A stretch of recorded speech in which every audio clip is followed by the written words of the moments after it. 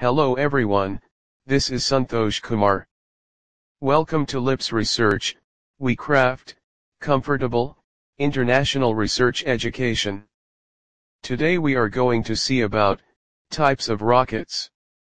Solid rockets. Solid propellant rockets include all of the older firework rockets, however, there are now more advanced fuels, designs, and functions with solid propellants. Solid propellant rockets were invented before liquid-fueled rockets. Now in an advanced state, solid propellant rockets remain in widespread use today.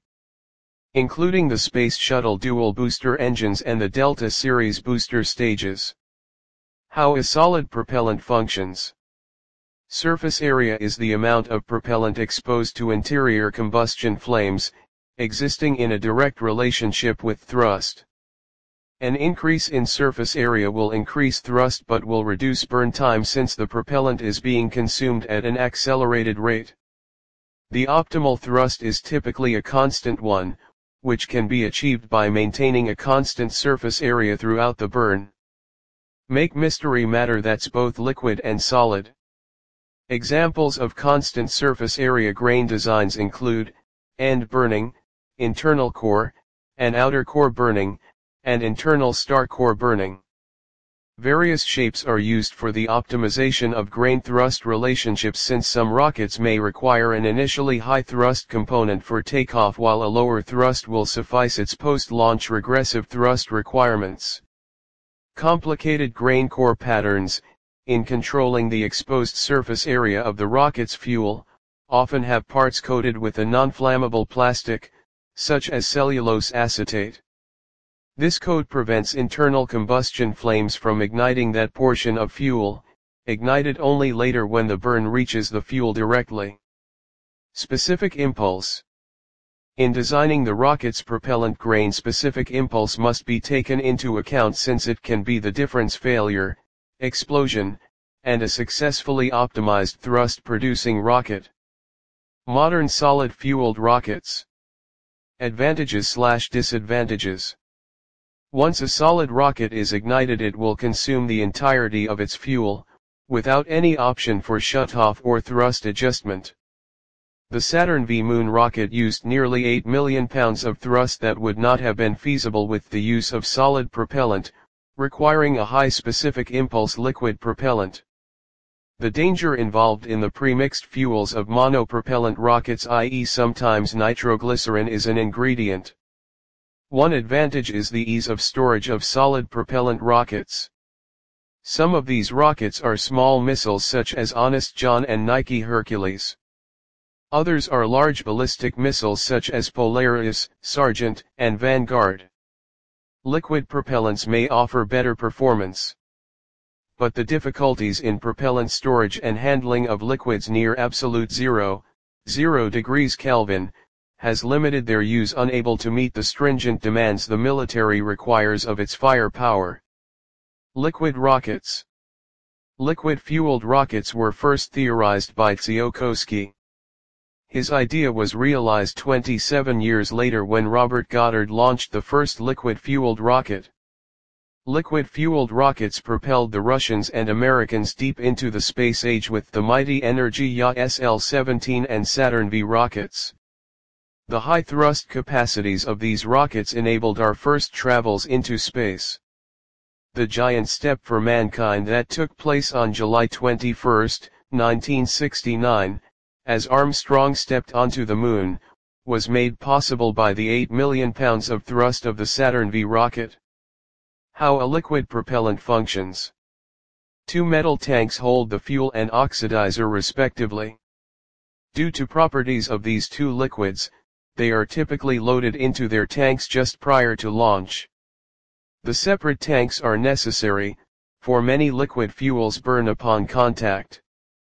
Upon a set launching sequence two valves open, allowing the liquid to flow down the pipework. If these valves simply opened allowing the liquid propellants to flow into the combustion chamber, a weak and unstable thrust rate would occur, so either a pressurized gas feed or a turbo pump feed is used. The simpler of the two, the pressurized gas feed, adds a tank of high-pressure gas to the propulsion system. The gas, an unreactive, inert, and light gas, such as helium, is held and regulated, under intense pressure, by a valve-slash-regulator. The second, and often preferred, solution to the fuel transfer problem is a turbo pump. A turbo pump is the same as a regular pump in function and bypasses a gas pressurized system by sucking out the propellants and accelerating them into the combustion chamber. The oxidizer and fuel are mixed and ignited inside the combustion chamber and thrust is created. Oxidizers and fuels.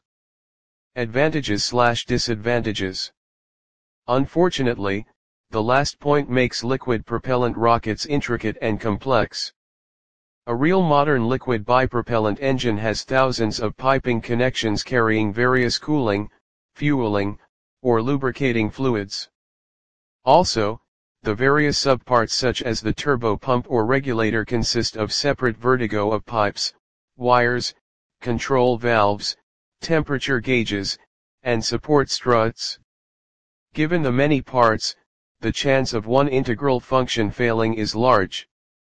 As noted before, liquid oxygen is the most commonly used oxidizer, but it too has its drawbacks. To achieve the liquid state of this element, a temperature of minus 183 degrees Celsius must be obtained conditions under which oxygen readily evaporates. Losing a large sum of oxidizer just while loading. Nitric acid, another powerful oxidizer, contains 76% oxygen, is in its liquid state at STP, and has a high specific gravity all great advantages. The latter point is a measurement similar to density and as it rises higher so too does the propellant's performance. But, nitric acid is hazardous in handling, mixture with water produces a strong acid, and produces harmful byproducts in combustion with fuel, thus its use is limited. Hybrid rockets in its simplest form, a hybrid rocket consists of a pressure vessel, tank, containing the liquid oxidizer, the combustion chamber containing the solid propellant, and a mechanical device separating the two. When thrust is desired, a suitable ignition source is introduced in the combustion chamber and the valve is opened.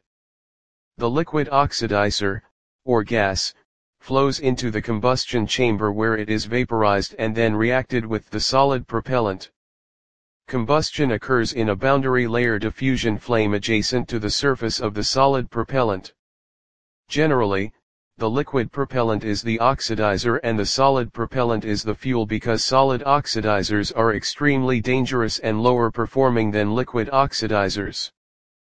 Furthermore, Using a solid fuel such as hydroxyl-terminated polybutadiene, HTPB, or paraffin wax allows for the incorporation of high-energy fuel additives such as aluminium, lithium, or metal hydrides.